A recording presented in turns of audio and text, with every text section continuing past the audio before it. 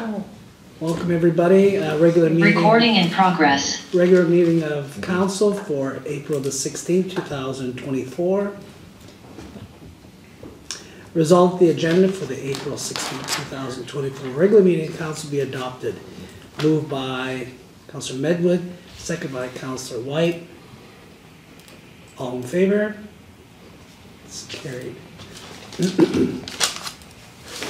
Resolved the minutes of the April the second, two thousand twenty-four regular council meeting be approved. Moved by Councilor Bobick, seconded by Councilor Boychuk. Discussion? All in favor? It's carried. Four, four point one. Resolve, resolve that this regular meeting be closed and the public hearings, hearing on variance order one, two thousand twenty-four be opened. Moved by Councilor Boychuk, second by Councilor Medwid. All in favor? Carried. Okay. So this is on the lot. Where are we here? North of Fit twenty-four seven. Yeah. So, did you wanna speak on to this or? Yeah, so variance one, twenty twenty-four on lot four, plan seven one five six nine. Uh, the, our, sorry, the owners are asking to, uh, vary a side yard from ten feet down to three feet. So in, in your packages, in supporting documents,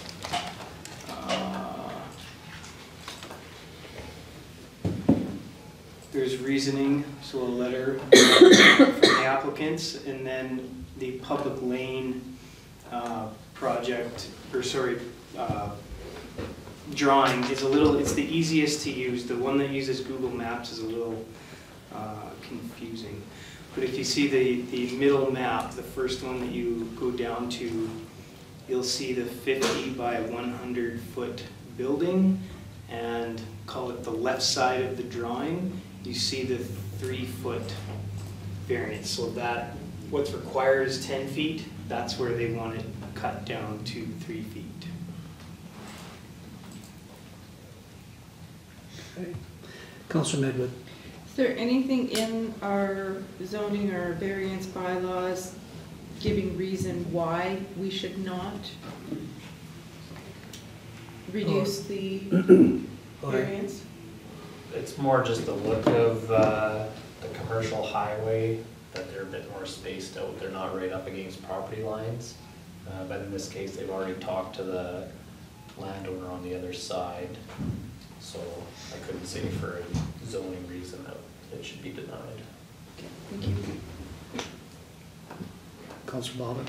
There's no easement in between those two buildings, right, is there for a back alley or anything? No.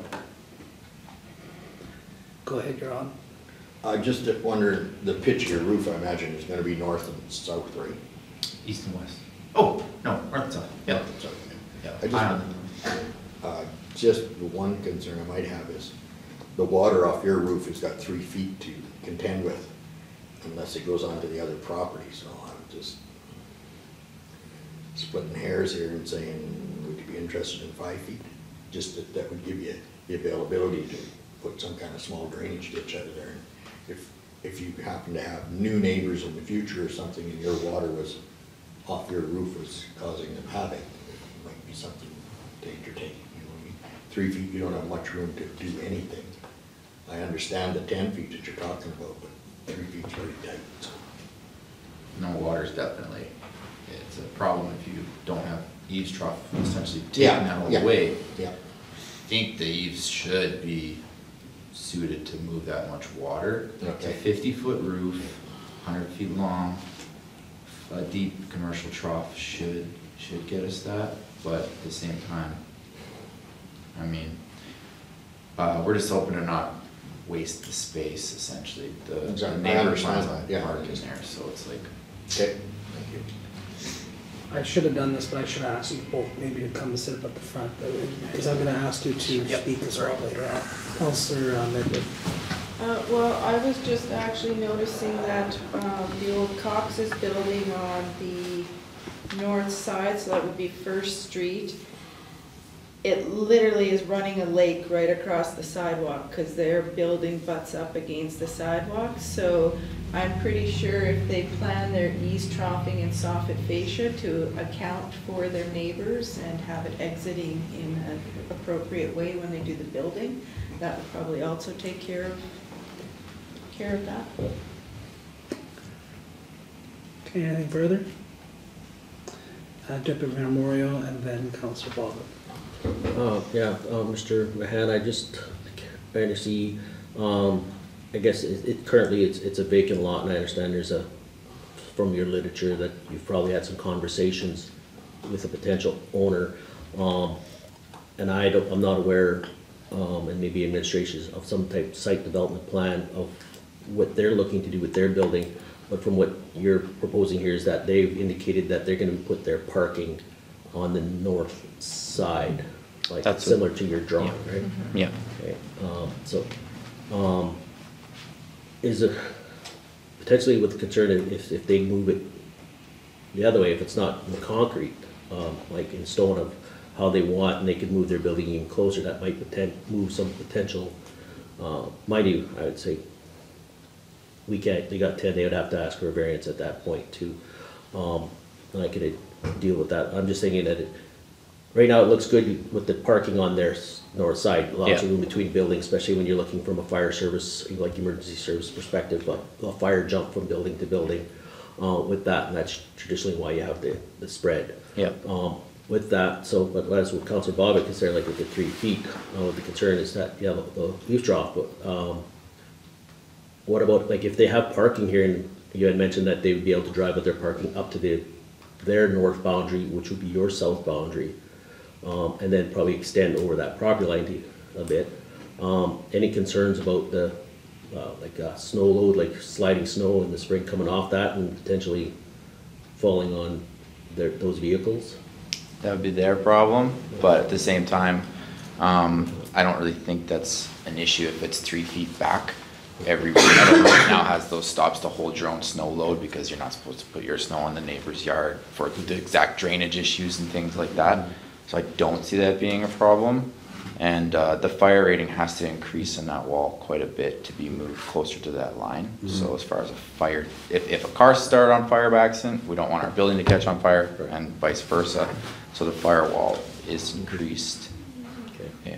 Yeah, so, maybe just, my concern is like snow sliding off that route going on to their lot. Um, like if they're parking their hood of their cars right up to their lot line as parking and, um, as we, snow is gonna slide off, cause you, have- your buildings are going up to three feet, right? Or is that the eave that's going up to your three feet?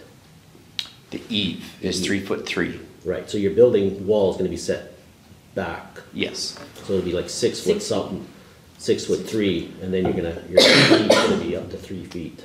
from the Yeah, property it's a line. smaller eave, but Okay. yeah. so- Okay, so as, as as long as you're aware of those potential risks that if s- snow, snow flies off or slides off, that, um, Yeah. now decreased that where you got the shoot path of it, that it may shoot right onto some parked cars there, if you don't have those snow blocks or they, whatnot, so, okay, Yeah, it's definitely, it's a very low slope, it's a one twelve. okay. Um, it should have the snow stops, but it is something for sure that Yeah, as long as everybody you're needs to aware be of that, aware that's- of. Yeah. Okay. After the first year, then I guess you'll be able to decide if you really wanna park that much closer or not. Mm-hmm. Um, but we're just trying to keep it, keep it more beautified by not just Mm-hmm. having like a, And then I said your parking is gonna be on the north side also of your building, yeah, that's the plan.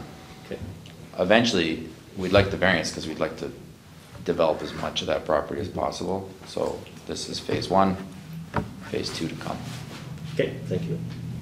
Councillor Bobick. So I would imagine this is a, a slab with a thicket edge, right? Yeah. That you'll be designing, so I'd be thinking that you'll be going two feet down, and two feet out with insulation on the Yep. outside of that building? Yep. So just wondering if there's any infrastructure that will be affect that, you know, coming through their, uh, telephone lines, Westman, stuff like that, does that come through the property lines, or does that all come from the front, like? You from back lane. back lane. Mr. Harvey? The water and sewer come from the front, and typically the natural gas and all the other ones come from the rear. From the rear, so they wouldn't need, there's no need for that to go along the side of that building.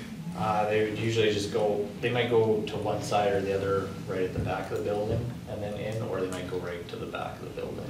And then the water and sewer would come in from the front. So there would be sufficient, let's say somehow the natural gas that goes in the middle of that building, there would be sufficient to bury that gas outside the two feet of the styrofoam insulation. That should be, Okay. Okay. Anything further? Okay, your time to shine. Do you have anything further? Nope. Basically, it's just, uh, we wanna use the space as efficiently as possible, and it just seemed like there's gonna be this ten-foot void between parked cars and our building, and just aesthetically, it just, all I can see is grass to cut, or weeds to pull, or some problem. So we just thought, if, we spoke to the other property owners in the area and said, do you see any reason that we should not pursue this? And everybody agreed that it kinda made sense to them, but obviously we're not planning committees. But uh, from a business perspective and aesthetics, it seemed to be the right call. Okay, fair enough.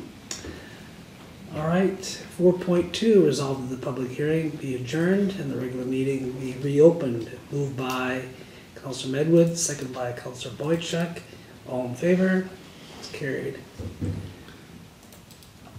So if you want, you can take your chairs and you can stay around for a little while, or you can leave, whatever you No, choose. we'll let you guys do what you gotta do. Thank you. Are you sure? We'd like you to stay.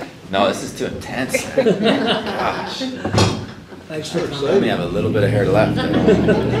Thanks for coming. Thank Yeah, you, Thanks, you guys. Have a good evening. Appreciate your time. Thanks. Six, six point one, resolve the building and demolition permits for two, uh, sorry, four twenty-four through eleven twenty-four with a total estimated value of ninety-two thousand, seven hundred nine dollars be received. Moved by Counselor Medwid, seconded by Counselor Powell. Discussion. Counselor Medwid, All permits on the list, they meet or, or are within the bylaw requirements? they would be, uh, Yeah. all in favor? It's carried. Okay, seven, seven point one, result of the Director of Public Works report be received, moved by Counselor Boychuk, seconded by Counselor Powell. Discussion, Counselor Medwid. What is the potential risk for overland flooding in the area? Do we feel there is one or? From the Swan River, uh, the risk is low. There was, uh, potential for an ice jam last week. Uh, so Matt Lennick was in contact, either safety officer, uh, but also our, uh, contact with EMO. Um, so he was contacting EMO and, uh, they were sending us drone shots on the, ice jam. We never saw the ice jam go by, but we did see the river jump, uh, but it's now gone down a bit.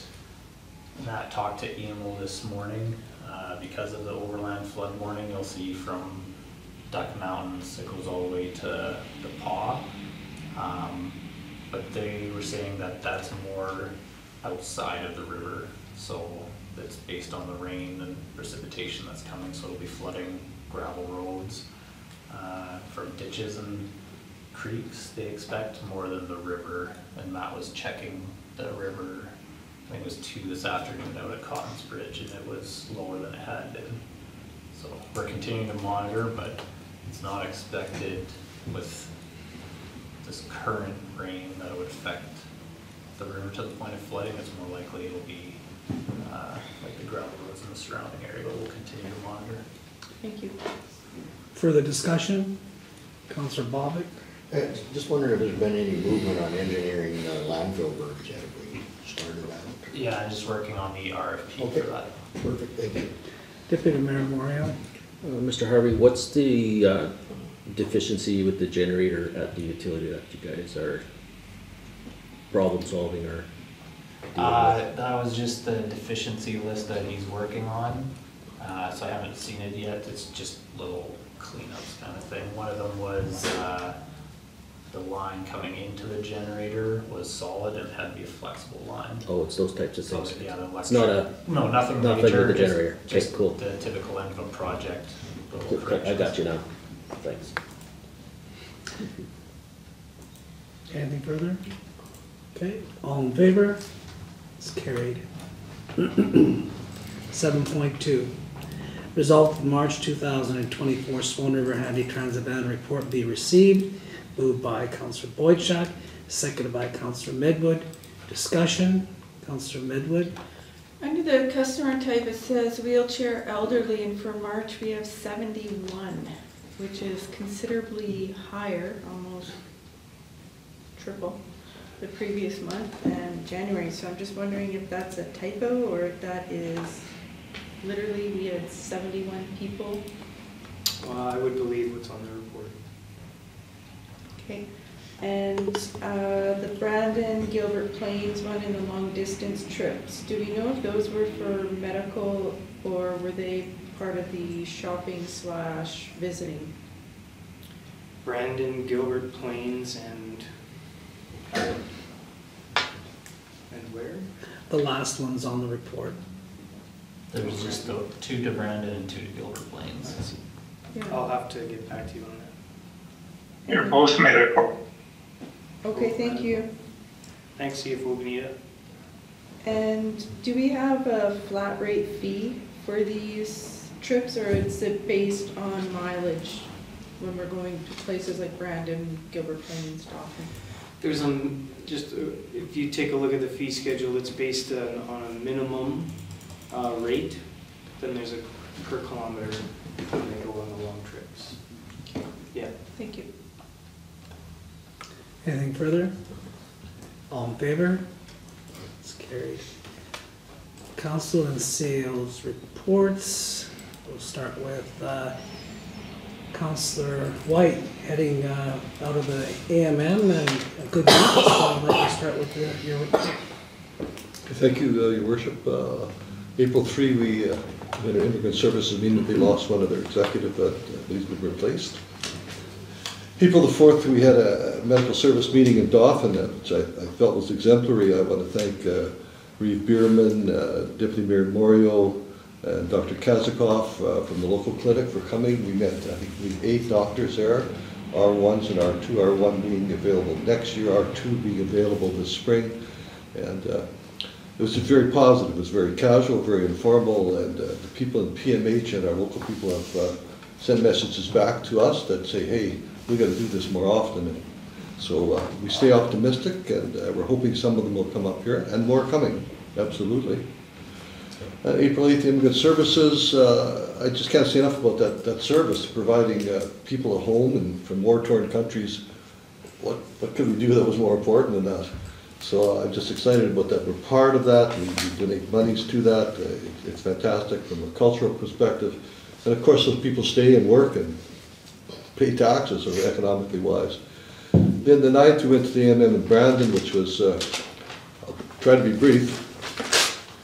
Uh, We, uh, the- well, the first one that I attended, we, we split it to groups, we went to all different ones, and uh, there was lots of good communication and collaboration going on amongst the, the council members.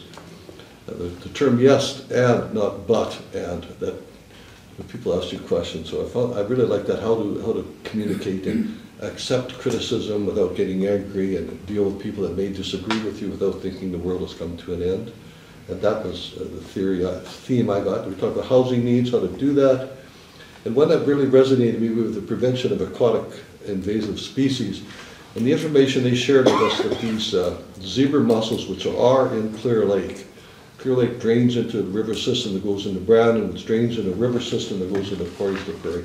Hypothetically, worst case scenario, they could shut those two cities right down as they plug, they plug drain pipes.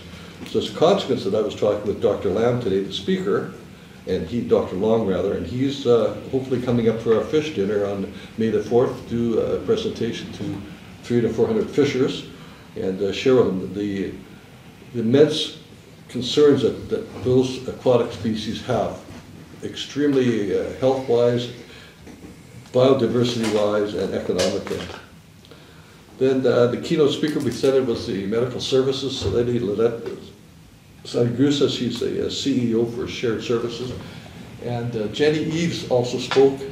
And I can't say enough about how Swan River and the Swan Valley, I wish they would have said Swan Valley, but they said Swan River. They don't appreciate that part, but that's fine. It's so complimentary to our valley, to our community, the people that work together. And uh, as a consequence of that, I can tell you that they've chatted with some of us on our board, uh, possibly coming up and meeting with the medical services team and doing a video on what we have done as a valley. We had at least three, four other uh, mayors, reeves, etc., come and approach me, say, how do you guys get that all done? And we get it done because of our community, how we work together, accept criticism, criticize one another, and, and, and get somewhere together. So I was really excited about that. And workplace communication, another one on Thursday. Board of Revision, uh, uh, as worship chaired that one, and lots of things I didn't know about, so that was really positive, how people can, can appeal their taxes. You don't have to accept the taxes you get from government. There is a board at the moment, this council sits on as that board. And then another keynote speaker was the STARS and the ambulance, uh, air ambulance. Uh, Extremely well organized and uh, articulate people, and, and uh, I like what they had to say. And then one of the last one we talked to was laptop security, computer security, and how we can't be too secure because there's people all over the world making a business out of hacking banks and communities. So uh, just a pretty rewarding thing. Uh, the council had uh, shared a lot of a lot of stuff. We uh, a lot of networking. Uh, with, uh, I think Premier Kinew's right hand man was with us for a brief period of time. Had a good visit with him, meeting with the other reeves, other mayors, other MLAs. So I, I would encourage uh, everybody that can attend those meetings from a municipal perspective to do so. Uh, it, it certainly will help our communities as a whole. Thank you. Okay, thank you. Uh, Counselor Bala. Thank you, Mayor Jacobs. Uh, yes, uh, just had a brief meeting with Director Harvey here, just uh, happened to be in the office and, uh, the in here, just kind of went over some things, we went over the pothole, uh, that are occurring here in town all over the place, so maybe, uh, and again, this is just my suggestion, an assessment could be done, you know, have a look at it, I think we may be looking at a little bit of uh, patching material here. We also talked about gravel on the Centennial here. Uh, we spoke on the, the back alley between Eighth and Ninth, and, uh, again, I spoke already on the, on the burn, so. Uh, the con- convention, I went to procurement and the disaster with DFA, I actually was asked to speak on that because of the, over the years, I've worked on numerous flood sites with DFA and Stantec over there, so I actually spoke on it a bit, so that was very interesting. I went to the water licensing one, uh, really nothing new when it pertains to the Thomas Swan River, but there is some new licensing going on there.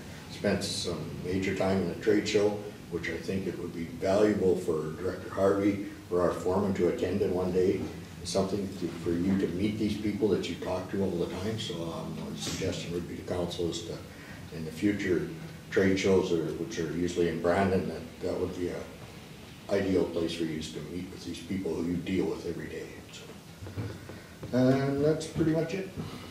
Okay, I'll, I'll do it. okay, Councilor Powell.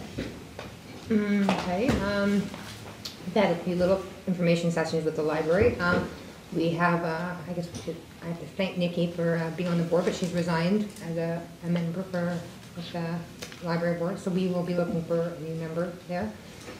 Um, we, uh, yeah, we went to, I guess, basically went to the AMM as well and had lots of great, lots of great information and lots to bring back. I think we, uh, all really enjoyed it. Uh, we just went to the rec, had a rec committee meeting here just recently and lots of good discussion, lots of, lots of positives and lots of things that they're doing and, and, you know, getting things together there too as well. Um, the other thing, it is, no, this can go in after. Okay, Okay. you're good? Mhm. Counselor Medwood. Oh, well, I was at the AMMs as well, so my takeaway from the keynote speaker on collaborative communication is the all parties need to be engaging with open, forward, and flexible thinking with focus on achieving win-win solutions versus a focus on winning at all costs or how to best defend our pre- preconceived opinions and judgment. I found it kind of similar to what Cadmus Delorme was uh, message he was giving with regards to meeting for reconciliation. And I'm hoping our council is gonna apply some of these concepts to our continued work on the accommodation tax bylaw. I attended a few breakout sessions, the municipal power couple, building a healthy council and CAO relationship, municipal government, uh, governance, and peak performance, exploring team dysfunction. We were recognized uh, for being one of many communities or municipalities that have a strategic plan in the municipal governance presentation, but as was pointed out in the municipal power couple presentation, if a council is not actually using their strategic plan to guide our annual budget plans, administrative reports, and status updates to serve the visions within that strategic plan, then it's kind of a waste of time, money, and is really nothing more than a pretty document that we allow to collect dust.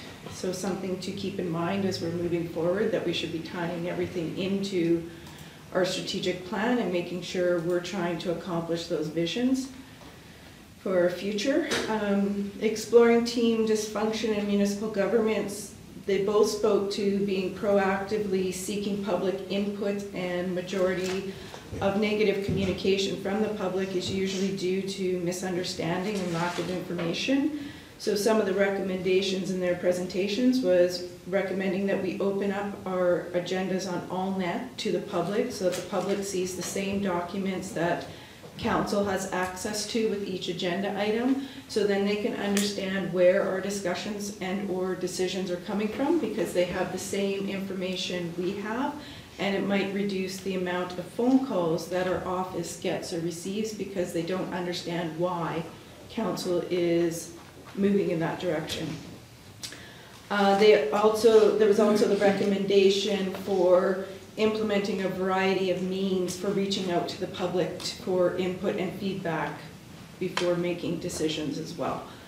Uh, The municipal power couple one also spoke to administration software used to log all calls received, sorting into categories, and it has the ability to generate reports and stats that can not only be shared with the public, but also with staff and council, so we can use it for being able to confirm response times when people are calling about services or outages or problems with water mains or anything like that. It will actually record how long it went from the time the call was received to the time a resolution was implemented. Puts it in nice little pie charts, it looked really good. And it also is a great tool for council and administration to be looking at our service targets being met within our policies and bylaws, and if not, do we need to look at changing the way we implement the policy and bylaw, or do we need to change the policy and bylaw to meet what we can actually accomplish? So uh, I believe that supports uh, CAO Poole's uh, previous communication with us regarding some administrative software he was wanting to consider for the town. I think that would uh, reinforce the, the need and the value to that. In the uh, municipal power couple one, it also spoke to the need for council to conduct annual reviews with our CAO to foster that healthy relationship and ensure expectations from both sides are being met with regards to governance versus management. And that we're, each party is staying within their lanes and boundaries. And it was also made clear that a chair's responsibility is to ensure a meeting stays on track and no misconduct such as individual council members giving direction to CAO or staff or not supporting a councillor and being successful is allowed to happen. Uh, preventing aquatic invasive species in addition to what Councillor Whyte shared. My takeaway was that the province of Manitoba is actually putting together a lot of promotional material and the request was that municipalities share it on their social media, on their website, and help get the word out and help spread that word. Another thing that came out of that was the request to support any municipalities that are currently dealing with the uh, zebra mussel. If they, what they're finding is the province is not currently in a position to offer a whole lot of help. So if resolutions come forward to AMM to lobby the provincial government for more supports and resources, that we support that and get on board with it. I did have a chance to meet with Bola, the CAO from the and we discussed the community safety well-being projects between our communities, and I followed up with uh, connecting her with James Wigley and Derek Armstrong to get more information on how our community task force teams came to be and the work that our community did prior to um, embarking on the Community Safety well-being Project. She was very interested in a few of our task forces and what they were focusing on. And also to build that bridge between the Pas, Swan River and Dauphin, so we're all kind of working together collaboratively, collaboratively on the common issues. Uh, Services to Seniors meeting today. Uh, Mountain has officially passed a resolution to provide and secure funding for this group for the next five years. Uh, Seniors Cooperative Housing Presentation. That is taking place at the Friendship Center on April 22nd, 2024 at 1 PM. So if you are interested in learning more about, uh, it's being hosted by Community Futures, who's partnered with Cooperatives First to host the information session. And it'll be addressing the shortage requires a comprehensive, sorry, housing shortages uh, requires a comprehensive approach to involving collaboration between government agencies, nonprofit organizations, private developers, and community stakeholders as a possible housing solution option in our community. Uh, CMHA Homeless Housing Project, they've got their funding extended until the end of July, which was great news. And since starting their project March 1st, the participants have not incurred any new convictions or charges, so that is excellent news in my opinion, and my hat goes off to all the people working on that project and helping our vulnerable population to feel safe, have reliable housing, and combined with those wraparound services, getting some positive results for that. That's it. Okay, thank you. Uh, Counselor Boychuk. Um, a lot has been spoken to about the uh, spring AMM. Great speakers, informative breakout sessions. Attended the municipal power couple building that healthy relationship with CAO. Uh, the peak performance, exploring team dysfunction, and also the liability, liability and risk management. Um, and then we also attended the Women in Municipal Government uh, in the evening, which was uh, a really nice evening and uh, great speaker, Bridget. I can't remember her last name. Smith. Mr. Smith. Yeah, Minister Smith was there and uh, she was uh, very down to earth and uh, had some great messages out there uh, as far as women in municipal government. Uh, had a recreation meeting tonight prior to this meeting and we have a meeting with uh, Swan Valley Legacy Committee tomorrow night and another recreation meeting on Thursday night coming up. And then uh, Monday is Chamber of Commerce and Tuesday is the Cal coming up again. So uh, and the meetings keep coming, so I don't think there'll be much free time. And that's it for me. Um, not really, eh? Anyway, uh, uh, Deputy Mayor Moriaux, thank you.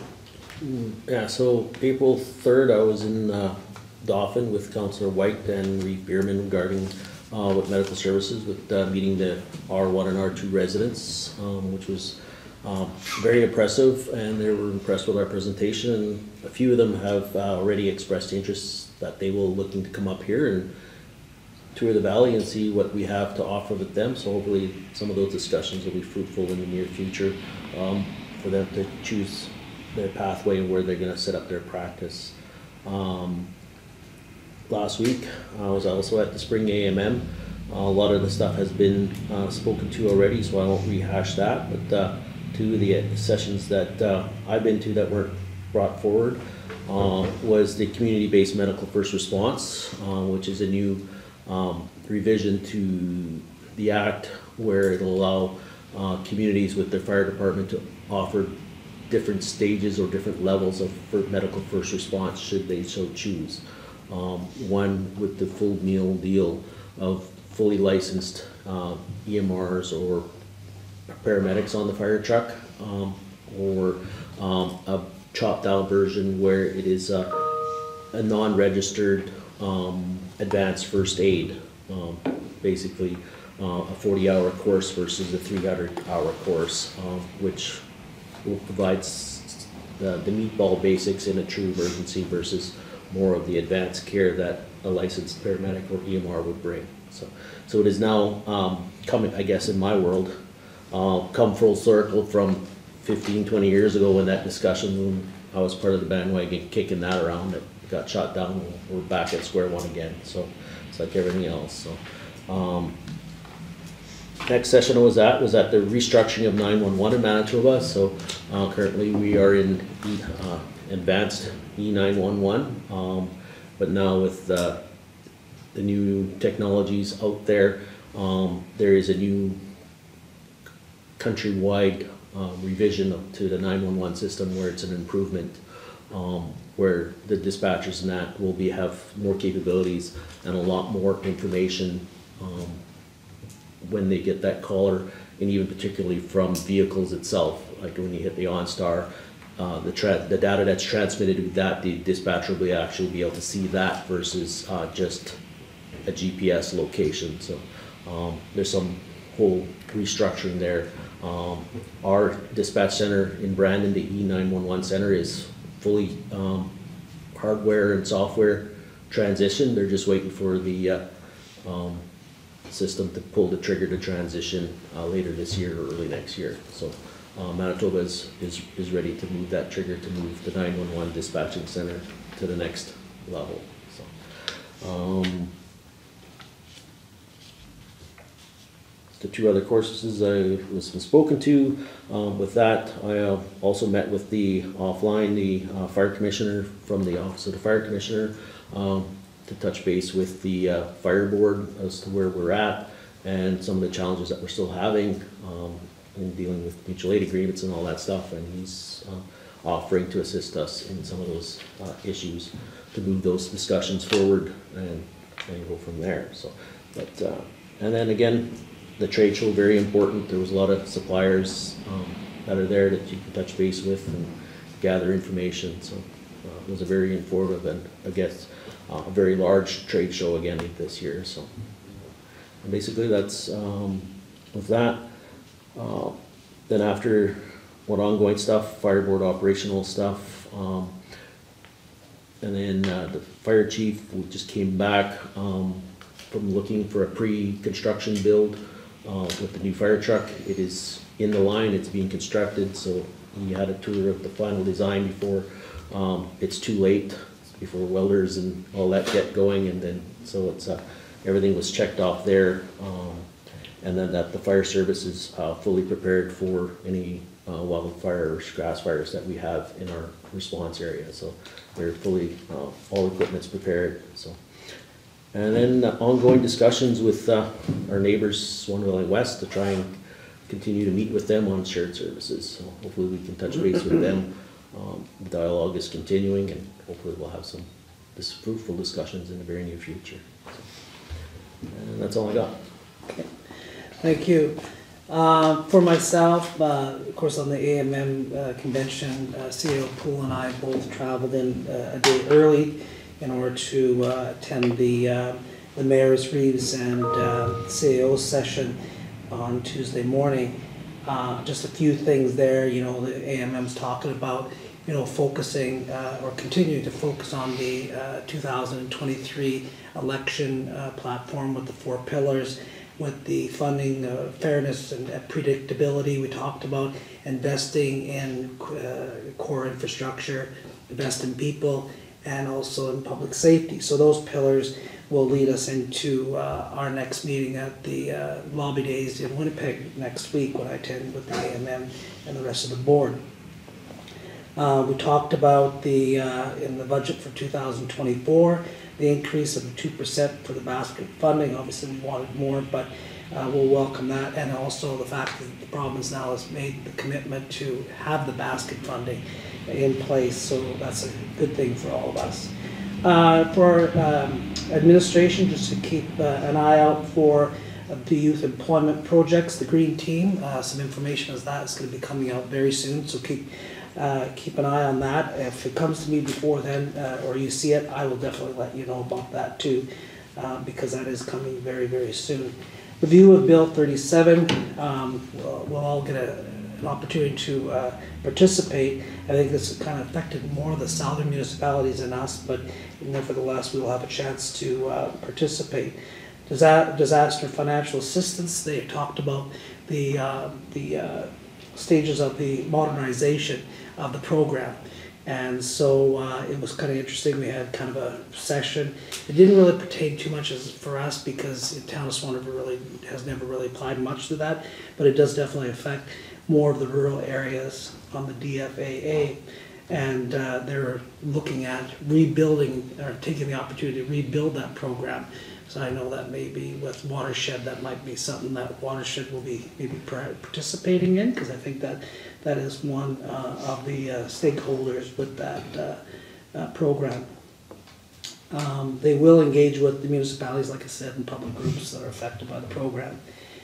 Um, One of the breakout sessions that I went to that was on community events and uh, definitely learned a little bit there. And um, some things that we need to keep, uh, you know, track of is uh, events that happen. If we have, if it's accidents or something with uh, an individual or whatever due to our liability, we need to make sure that we're taking notes of, of uh, those events because uh, you may not have a claim on it in, say, this year or six months or two months. It can take up to two years. So they often say, uh, make sure that we're um, taking all the information while it's fresh in your minds of this certain event that may happen.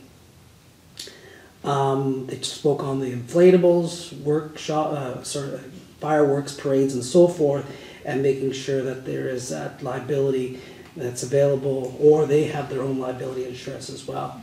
Western Financial is willing always to work with uh, us and our community uh, on our community events, so we make sure that we keep them uh, close by to us. Uh, one last thing that kind of I learned about was uh, halls, and when we rent out the halls, that the renter should also have their liability. And we talked a little bit about that in our administration, we'll look into that a little bit, but um, it's interesting how that is. And, and, and when a few of them are sitting there going, well, nobody ever does that, and actually a few of the municipalities put up their hands and they said, yeah, we do this. So I think that there's some gray areas there too, but uh, yeah. Border revision, I know that somebody had mentioned about that, I think it was Councillor Whyte, and uh, good presentation on there. Um, As we know that you can be, uh, it can be an elected board, like from members of council, or um, people that are from the community. And um, more and more communities are appointing people within uh, the community on those boards rather than having um, uh, people that are elected. The biggest thing there is to make sure that all board of revisions are fair, and often they say, don't make the decision on the, on the presentation at board revision, make it afterwards, so that you have time to review and look at uh, what that uh, application is, if you have an application. One thing um, on the Center for Rural Economic Development, which is a federal program, it was interesting to see or hear that the prairie region, which is uh, all of Manitoba, Saskatchewan, Alberta, and Nunavut, Nunavut, I think, yes, I think I'm right, um, received out of that program about eight percent of funding. And as an example, Ontario received about not thirty-nine percent. So it's interesting to see where a lot of that money is going. But they did invite to work on that as well. And I know we have a relationship with them as well. Last night I had uh, our Swan Valley Health Facilities Foundation meeting. Um, We're working on renovating uh, the house that we own, which we rent out uh, frequently to agency nurses and so forth to use, but uh, we have to do some work to that uh, building. It was interesting to see that we had, uh, in one of our funds, we have a cataract fund, and that cat, we receive, you know, voluntary donations periodically, but um, we received a nice uh, donation from the Caperville uh, Rotarians, who uh, made a donation to our cataract program. Uh, Also, we've received more donations for our CT scanner as well. And this is just uh, March 31st, that we're at about 100 and, almost $114,000 in publicly raised funds for the CT scan. So that's a great thing too. Um, They have recruited three long-term care aides from the Philippines, and uh, and more to come. And it was interesting, they were talking about how they just don't put them on a bus and send them here. There's actually people that go from the community, and know, pick them up, and take them shopping, then bring them back, and, you know, just really introduce them to the community with uh, settlement services and all that also included. So some good things out of there too. That kind of make me think of how Jenny Ives' um, presentation and, and the community uh, strengths and all that were, you know, a big part of her making her decision on staying in the valley. That's it for me. Anything from the CAO?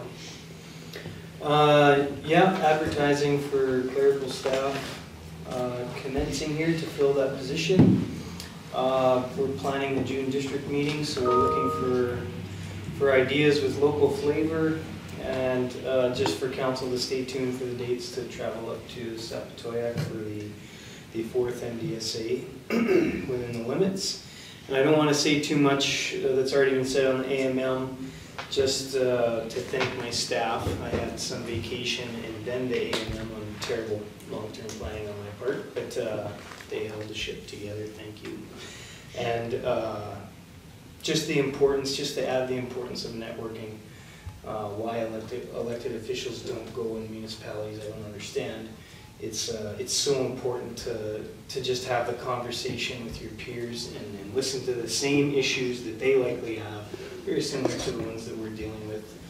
And, and, you know, they, they could bring a, another set of eyes to a solution that we're all having. But, uh, in addition to that, the, the contacts, uh, the, the federal regional economic development officer, that new contact, the people from inside the, the premier's office, when we send those correspondence, they remember us because of, because of the AMM and then we all go. So just wanted to speak to the networking and how important it is. That's it. Definitely very important, and, and we've, we've met, I don't know how many different people over the years, you know, in previous government, new government and so forth, but, uh, some very good, uh, relationship building and networking at the same time, and, and, you know, I had some great conversations with the mayor from Thompson, you know, and, and she's always, you know, she does a lot more traveling than I get a chance to travel and, and visit some people and, and government people and ministers and so forth, but she always tells me, she said, you know what, we're always looking out for you guys in Swan River too, and we're bringing you up too, so she's, uh, she's, uh, always thinking about us as well, so I really thank her for doing that in her council. All right, moving on, uh, eight point one. Whereas the Municipal Bylaw Enforcement Act, CCSM, CM two forty-five permits the establishment of an administrative penalty scheme for municipalities to enforce their bylaws. And whereas the act and our, and our bylaws requires that a screening officer be appointed to review and make decisions with regards to any screening requests. Resolved that the chief administrative officer be appointed as screening officer under the current penalty notice scheme for all contraventions listed under Schedule A of the enforcement bylaw, except for contraventions of the structural standard bylaw.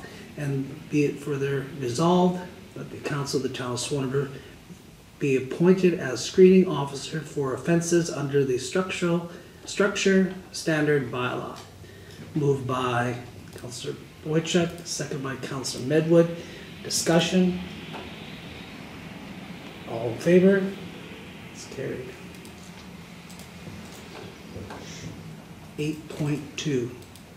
Resolved that the variance order one, two thousand twenty-four for lot four, plan seven one five nine six, uh, Dauphin Land Title Office be approved.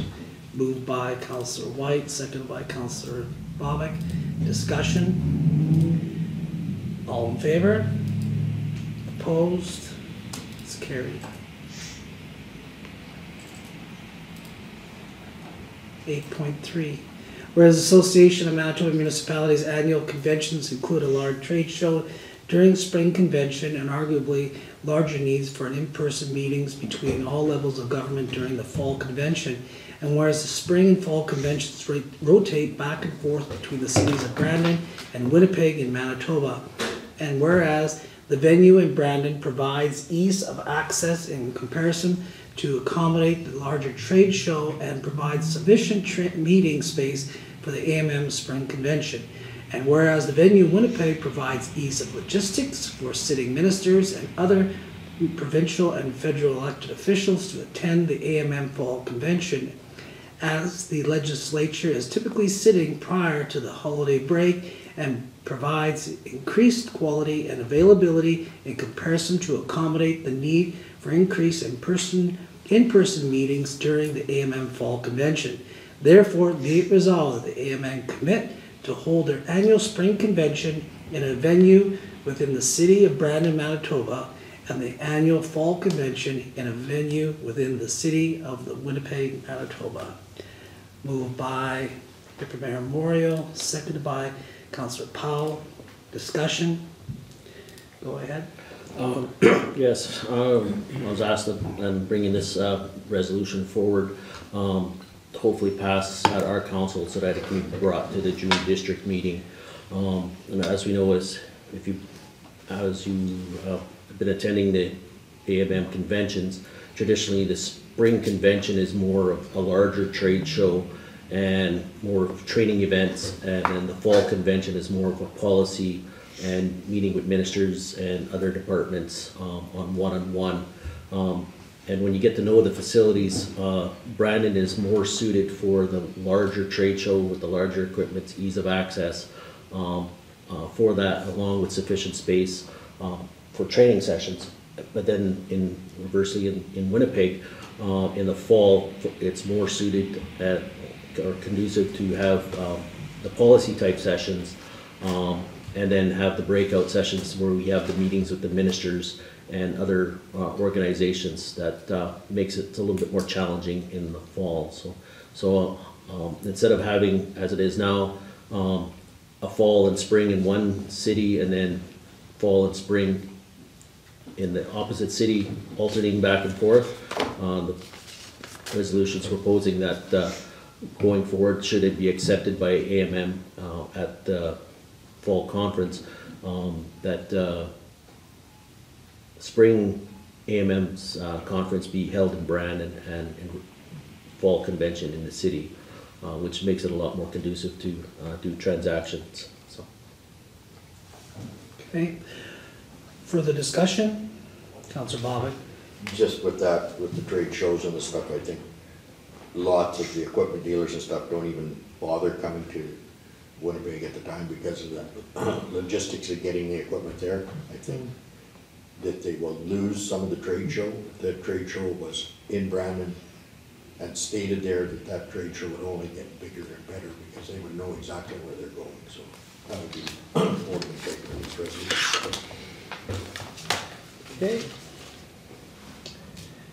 Anything further? All in favor? It's carried. 10, 10.1. Resolves, uh, resolved that the accounts as follows be hereby approved for payment. General accounts checks number three one four two eight to number three one four nine seven totaling one hundred and seventy-eight thousand, two hundred and seventeen dollars, ninety-nine cents as listed on Schedule A.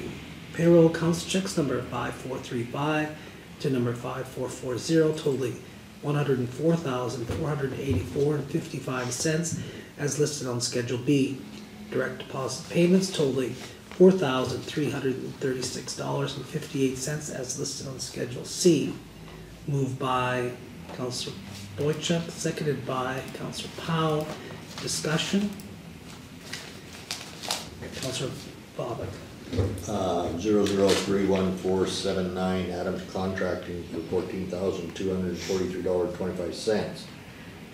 That, would that price be included in uh, brush cutting that was occurred on two seventy-five?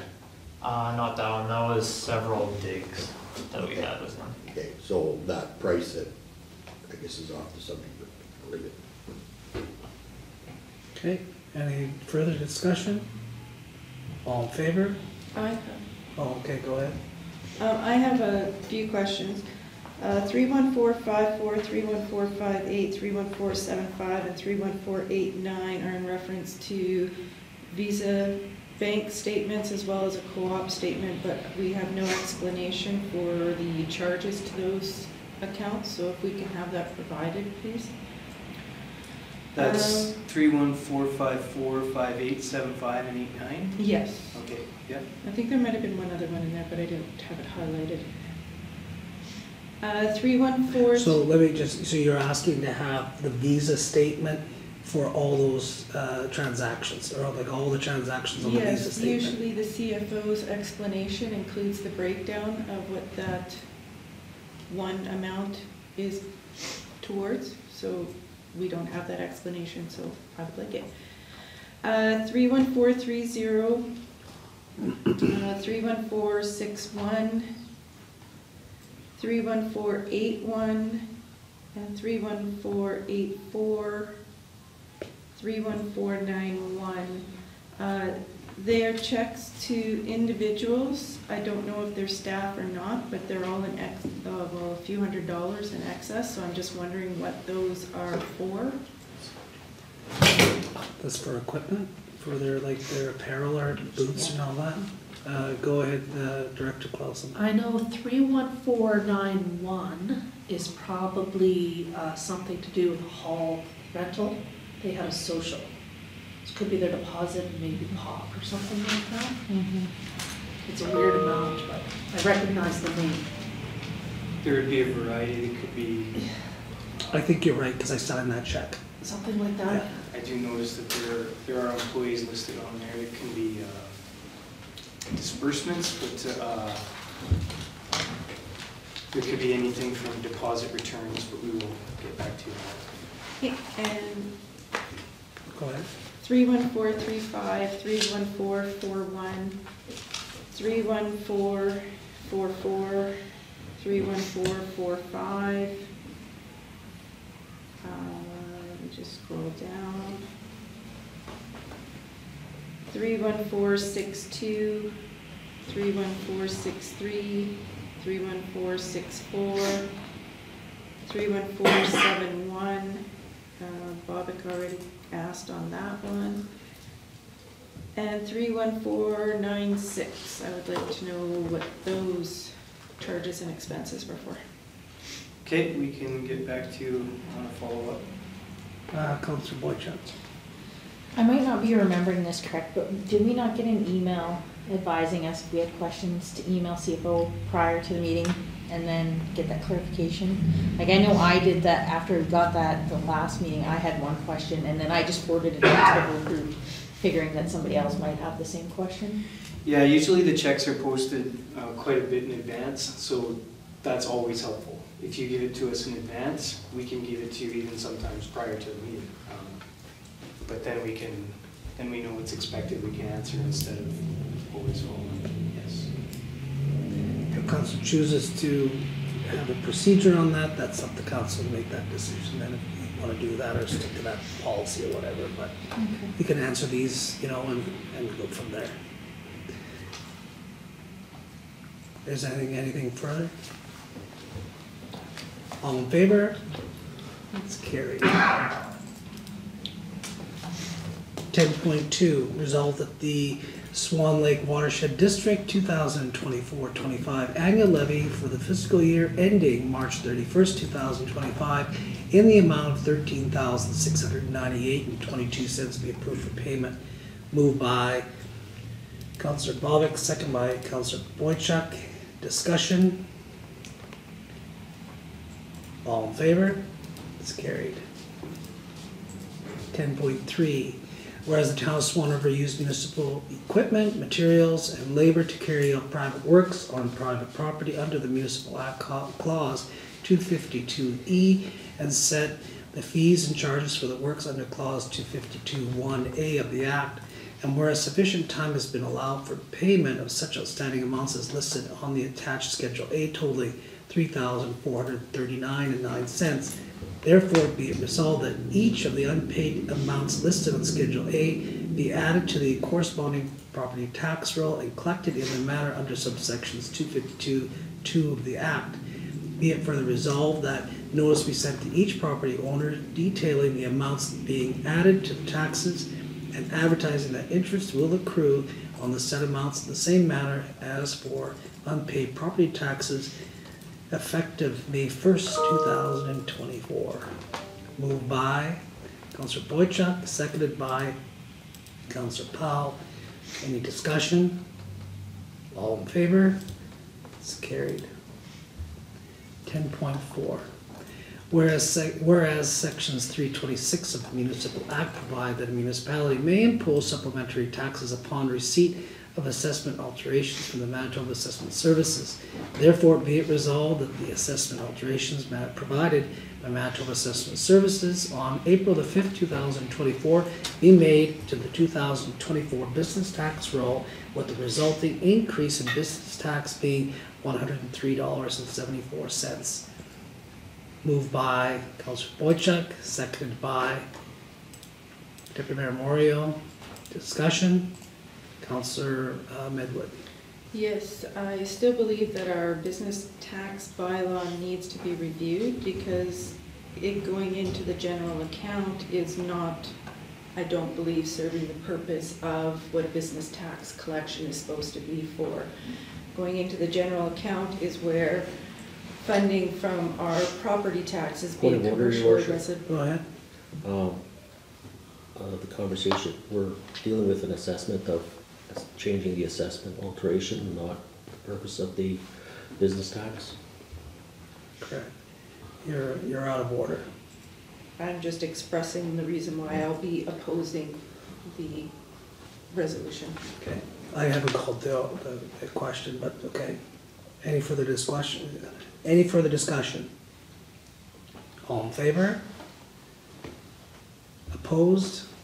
It's carried. Eleven, eleven point one. Resolve the bylaw one, two thousand twenty-four, being a bylaw of the town of Swan River to establish a structure standard, be read a third time and be passed. Moved by Counselor Boychuk, seconded by Deputy Mayor Moriaux. Discussion, Counselor Medwid. In the supporting documents, it's indicating here that we're not going to look to enforce it until June first of twenty twenty-four. So I'm wondering if our resolution should actually be amended to clearly state that it will come into effect June first, twenty twenty-four? Because I under, if I understand things correctly, as soon as we pass this, it would technically be in effect.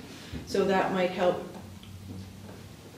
reduce misunderstanding of when it is officially in effect. There's probably no harm in that. It's No. in there, Was it in there? yeah. It is in the bylaw, we added it as section thirteen. However, I do agree with Councilor Medwid that it could create confusion if we pass the resolution approving the bylaw, and people may miss section. Maybe I misunderstood. I thought that you meant to have the, the resolution read the date. Yes. Yeah, Yeah, not that's the what I- actual, okay. We can do that, we can make the amendment if the mover and seconder agrees. Okay, uh, go ahead. I agree. Okay, so then we need, uh, a mover to agenda, to amend the resolution. Is that not what Counselor Boychuk just did?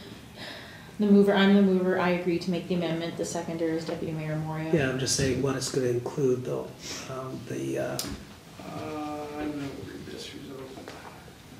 Be read a third time and passed, um, And come into effect.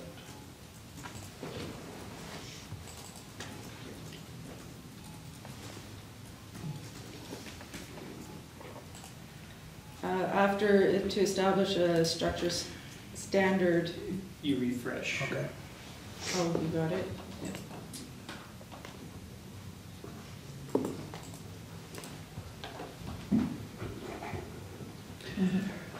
Yeah, okay, so, um, uh, do we have to vote on that? You have to vote on the amendment? amendment, yeah. So the Okay. mover and the seconder have agreed to the amending resolution, so you, I would read it and ask a question. Okay, so then, um, yeah, so we, the mover and the seconder did uh, agree, right? Yeah, friendly amendment. Okay, so resolve the bylaw one, two thousand twenty-four being a bylaw of the town of Swan River to establish a structural standard and come into effect as of Jan, June the first, two thousand twenty-four, be read a third time and be passed. Okay. Any further discussion? Councilor Medwid? What are the plans for advertising to the public and making sure the message is getting out? Uh, we intend to use town page, all social media platforms. Uh, I'm trying to think of development, like possibly we could send it to, to the real estate agents, I don't, I don't know, but really it'll be the paper, uh, the radio, our social media platform, website. But, uh, we could take suggestions. We want it, we want it out there because this will be a contentious bylaw. Councilor Boychuk? Maybe including it in the next assessment mailing or in the next uh, water bill statement might be a good thing. I'd just include it with it. It's a good idea. Won't cost us anything extra. Anything further? Okay, it's a recorded vote. All in favor? Opposed? It's carried. Unanimous. Okay, eleven point two. Result of bylaw number four, two thousand twenty-four, being a bylaw of the town of Swanner to amend the cited bylaws to be administered by penalty notice and where applicable, and where applicable, that lot fines be added to taxes be read a third time and be passed. Moved by Counselor Bobick, second by Counselor Boychuk. Discussion? Counselor Medwid? I think there might be a word missing from the resolution. On the second line, it says noted where applicable that fines may added to taxes. I think you need the word be be. added. Maybe, yeah. Yes. Good catch, thank you.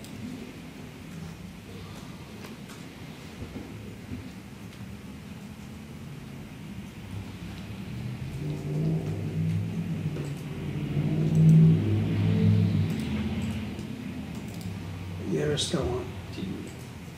It mentions that this is gonna be posted on AllNet. Is that gonna be accessible to the public?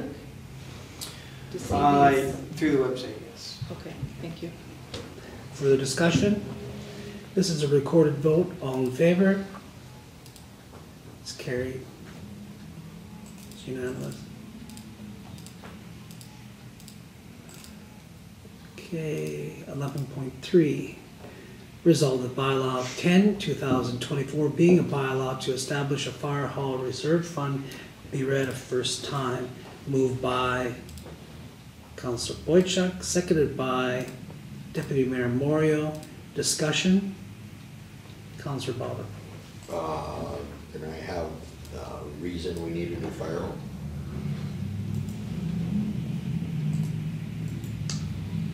Call Discussion on that for maybe the, I guess, I think the thing is, the thing is- on this, I think, is, is the thoughts of in the future. We have to Yeah, I start thinking about it in the future, not at this moment right now. It is in our, I think in our capital plan that we have, we are planning a fire, new fire truck, or, uh, building at some point in time.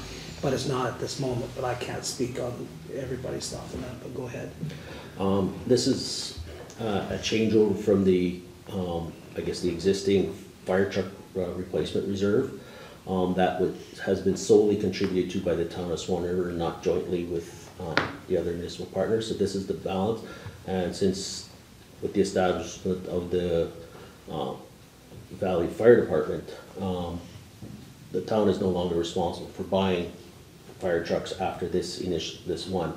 So this money um, has been, uh, being proposed that um, as part of the agreement, the town is still responsible to provide the fire hall and any capital repairs and upgrades. And this is where uh, it's just a changeover from um, fire truck purchase to the maintenance or construction or whatever of the fi- current fire hall.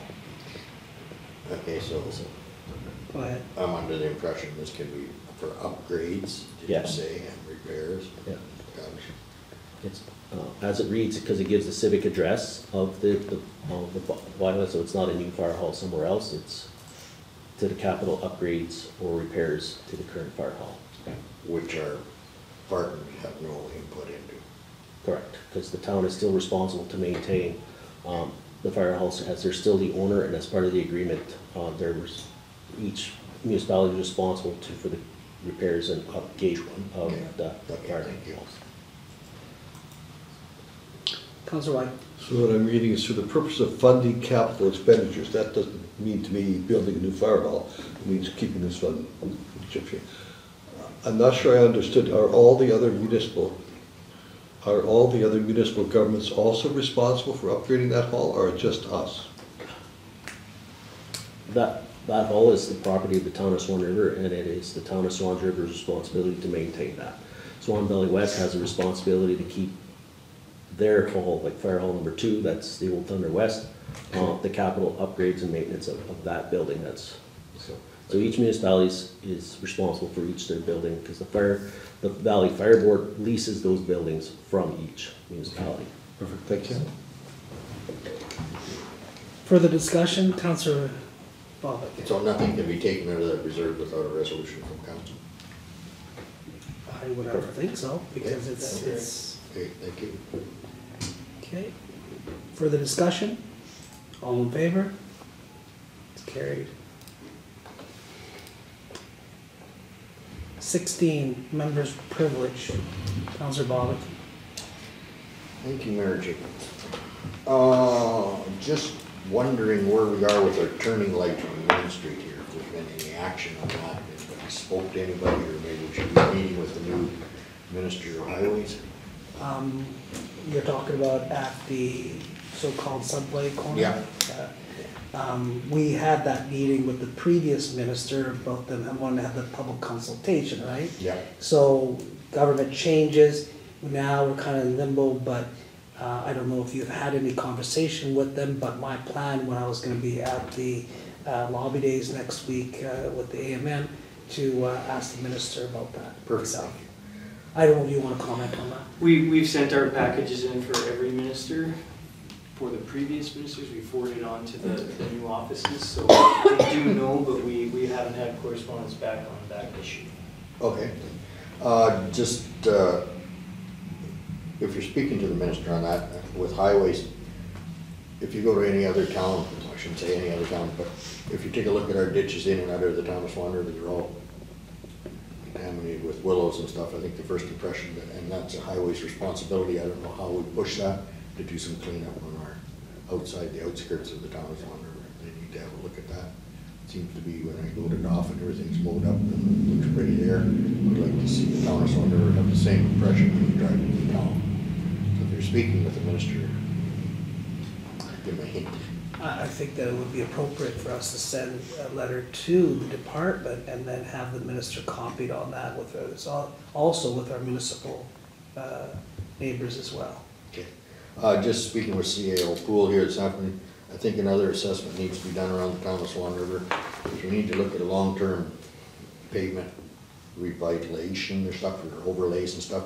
Of Swan River's get some streets that are pretty rough and need to be looked at, do an overlay, and An overlay would be something to look at if the water and sewer is good under there, but it would be nice to have something for the future here, that we need to start looking at overlays on some of these streets, they're getting pretty rough. Uh, Just to speak a bit about shared health, uh, congratulations to the medical team. Uh, When other municipalities stand up at a convention and congratulate the town of Swan River and, and- and bring on a round of applause, I think the medical team should be congratulated on what's been done here over the years. It's uh, hats off to Mr. Moriaux or Deputy Mayor Moriaux on Council Whyte. Council Whyte, you did a very good job at the mic, I was really impressed, so uh, I wouldn't say that if it wasn't true. so, Thank you. Uh, Just to give you a little bit of an upgrade on the watershed, when we speak about, it, I was gonna do this, but I'll do it now, so. This year, the watershed is gonna be, we have uh, the Prairie Watershed um, Fund, what comes to us, we'll be looking at seven hundred thousand dollars, and we're shooting for a million on it, so we have approached for a million dollars. That entails nitrogen management, cover cropping, rotational grazing. We also have, it's called the Ralph Program, we're looking at two hundred thousand there, and that is riparian, stream bank stabilization, and livestock watering. Uh, we have the Lake Winnipeg Basin, which is about fifty thousand dollars, which comes into takes into fact some other things like water testing. We've done, or they've done, I should say. Like we do about a hundred tests a year on wells and stuff that are sent away and stuff like that. So to, the watershed is getting to be known as a place to take your water tests. Like sometimes when people buy houses in the country, they, they'll need to be, their well will need to be tested before they can get financing. So it's providing a very valuable service. Uh, the Lake Winnipeg Foundation, uh, is what supports our testing of the rivers. We test, uh, the Swan River, the Roaring River, the Woody River, the North Duck River, and the Birch River. It's an ongoing thing, we have a green team and they're all tested, and like I spoke before, we will be, if we can get, when there, there is a discharge, if you could make this a time frame, our tests will show up there, it'd be very interesting to see which way that goes. Just to let you know that the watershed on batteries that, just the small batteries, we have their depot one, we actually sent in two hundred kilograms of batteries last year on recycling, so they're they're doing lots of, so. Thank you. Okay. Uh, Counselor Boychuk. Well, it's interesting to know about the batteries, I didn't know about that, I I know where I'll be taking mine now. Um, I have to say, I was in another community earlier today, and while I agree with you on our roads, some of them are getting into the, the need of disrepair. Um, and I might have been in this community during the winter time, uh, and one thing I noticed was that their streets weren't really plowed, and like this was like second or third snowfall.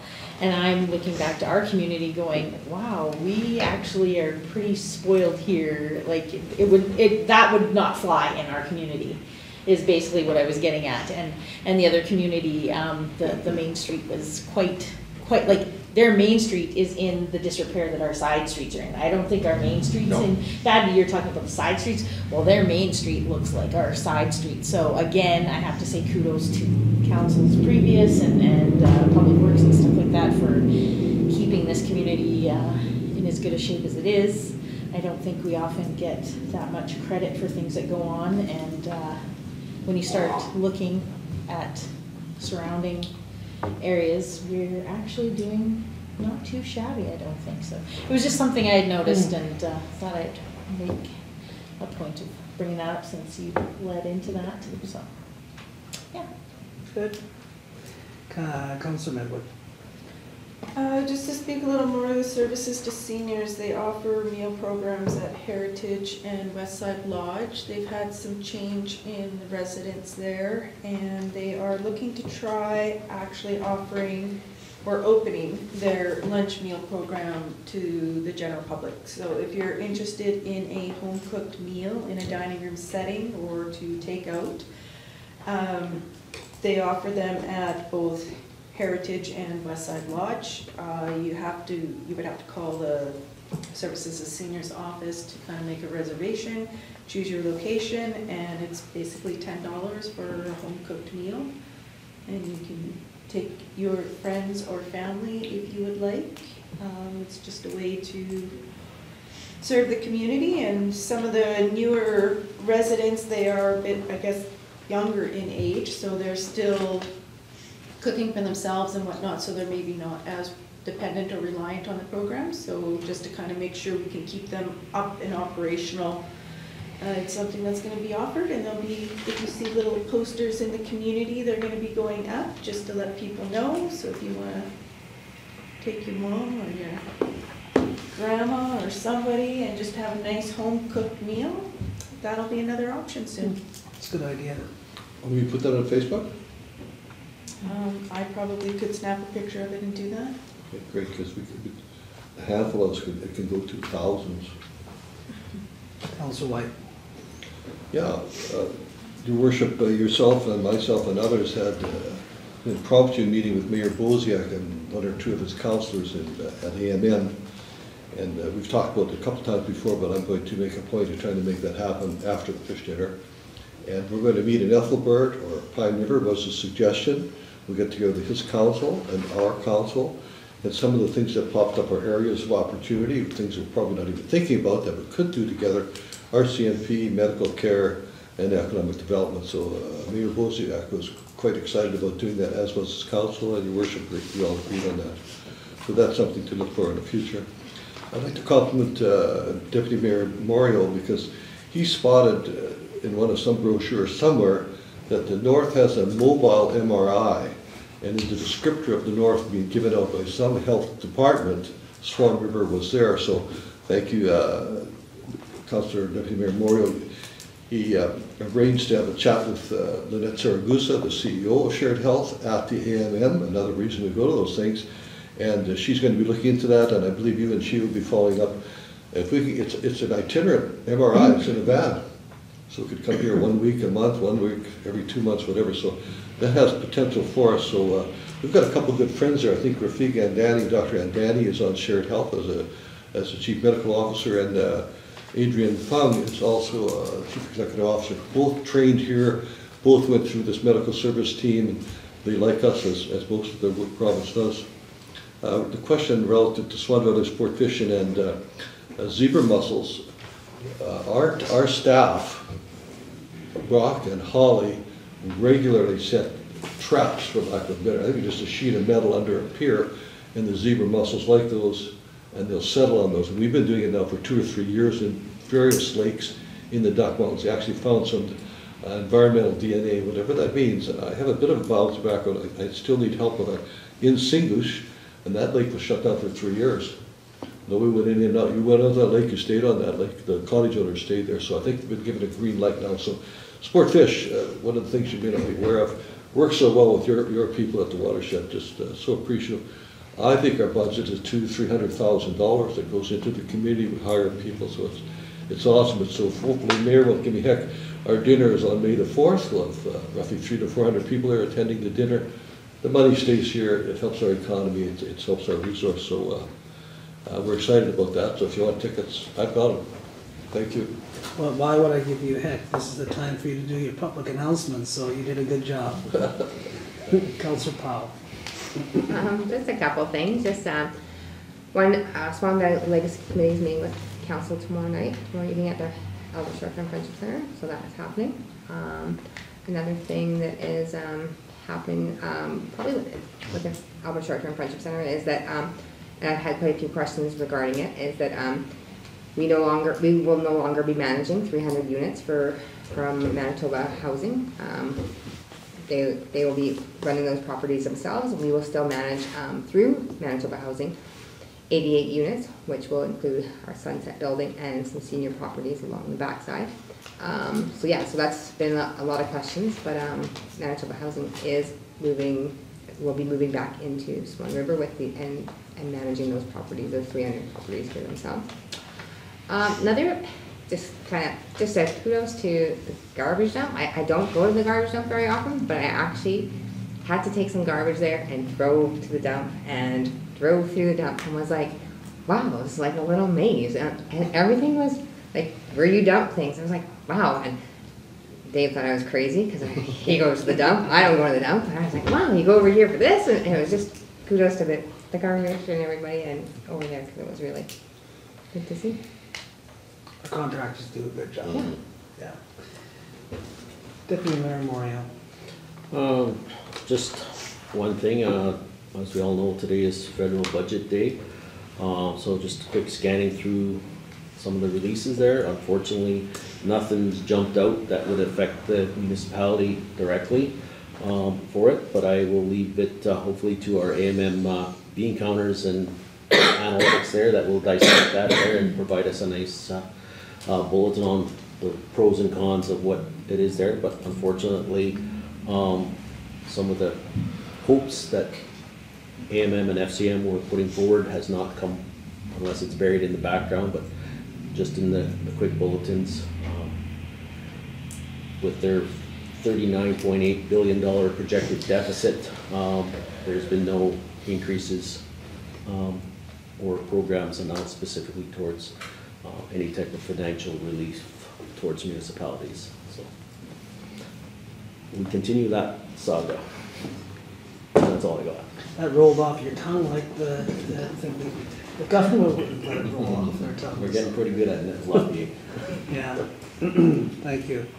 Uh, I don't really have much more to offer than what I had said in my original, uh, uh, post, so I do want to, although I do want to say maybe I- that uh, Counselor Whyte and uh, Vicar Memorial and the whole recruitment team for medical services uh, has grown in a lot, in this term, much as a, as a better working group than we've ever seen it before, as far as with all our municipal uh, partners on board and working together. And, um, you know, I, I know that the presentation that Jenny had there at the AMM was really powerful, but it just goes to show that what we have really counts. And, and, and she said, you know, when she came, you know, that she didn't re- really expect to see what she did see here, but we have the things that people need, you know, recreational services that we often, you know, you know, fight about and say, hey, we don't need that, or you don't need this, and, and, and she was a testament of that, so she did a really good job, and I think some of that video has been posted, you know, along the way, and I think we'll probably see it a little bit more, but, uh, yeah, it was, a- it was a, it was a good, you know, moment for Swan River, and, and I think the Swan Valley, because I spoke with the two Reeves that joined with us, and they're pretty proud of it too, so, because no matter what, you know, the valley is, you know, Swan River and, and is, you know, all the municipalities, but we have to share in that, you know, sunshine together, so. Anyway. Anything from you? Uh, no, uh, I guess to, to add on to your, to your speech, your worship, would maybe some recognition to the, to the founding players of the medical services committee, Glenn McKenzie, Jason Sockles. Thanks to them too. Absolutely. Quite a team. Uh, Mr. Harvey? Uh, yeah, we're just keeping an eye on the river, uh, as I mentioned earlier, but it looks like it's not too bad a shape, so we'll continue to monitor, as it looks like we're gonna get precipitation all through this week, and there's, uh, a gauge board at the CN rail and a gauge board at, uh, Cotton's Bridge, so our safety officer has been checking those and is in constant contact with the EMO regarding that. Okay, thank you. Uh, Director Clouson? Ah, not too much for me either. Um, we're winding down our, our arena season. We got two and a half weeks left and our ice comes out and, you know, just just happy to see everybody in the rink this year and that's it for winter, I guess. Well, good for you on your uh, inaugural, uh, Made uh, it through a whole winter season, Yeah, yes, thank you. absolutely, good job. CFO Gnida? Nothing. All right. All right, with that then, we uh, resolve that this regular meeting of council be adjourned at eight twenty-seven PM. Moved by Councillor Boychuk, seconded by Councillor Bobick. All in favor? It's carried. We're adjourned.